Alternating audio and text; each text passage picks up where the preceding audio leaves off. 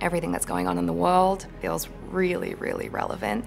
It's going to hold up a mirror, and it's also going to create some really interesting conversations. And you and I will finally be free of one another. You will never be free of me until both of my children are safe. There are moments on the show when the show and reality meld, and there are moments when the line gets really blurry. That day in DC, shooting those scenes at that spot, the line just disappeared. Government had been shut down. No one knew it was The Handmaid's Tale, or they wouldn't have allowed it. You know, you hear these things, and it's just so thrilling that they pulled it off. It's a powerful, exciting journey we feel for June, but I think we feel very, very united with her in that journey. And you know, you don't have to be a wife or a mother if you don't want it. Then what would I be?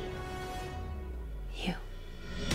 It's easy to decide you're going to do something. It's a lot harder to actually do it. There's no handbook on how to be a rebel. One thing that Margaret Atwood always says is that she hasn't put anything in The Handmaid's Tale, the book, that hasn't happened in history to some woman somewhere.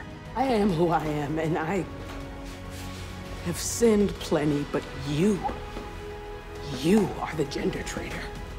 And it's honoring the reality, and that's the goal. Here's what I don't get. If women don't want to be defined by their bodies, why are they always using them to get what they want? Maybe they aren't.